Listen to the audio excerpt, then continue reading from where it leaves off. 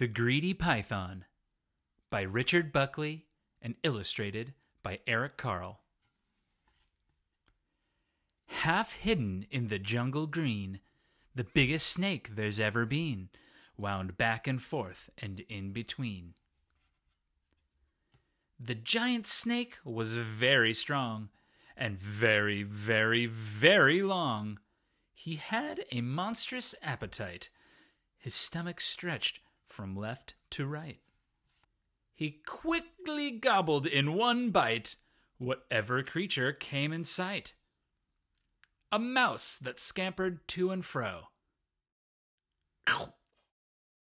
A frog that jumped up from below. A bat that hung from his left toe. A fish that swam a bit too slow.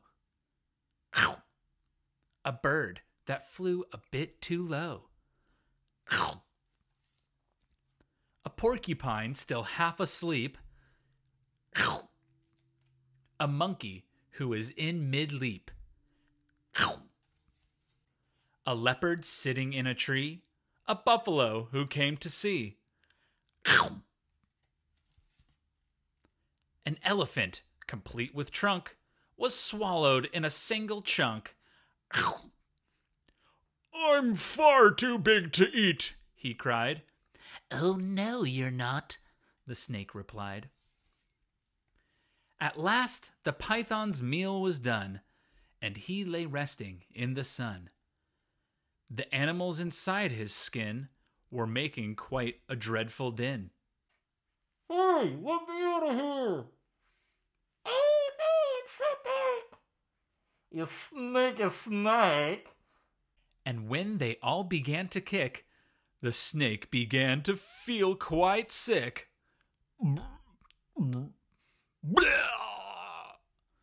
He coughed the whole lot up again, each one of them, and there were ten.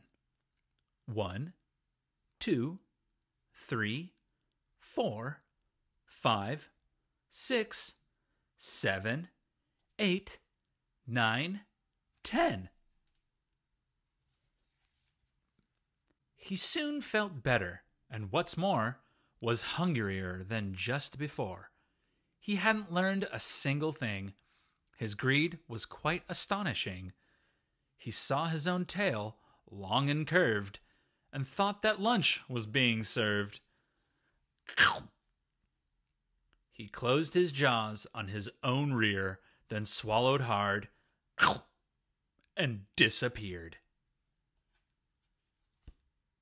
The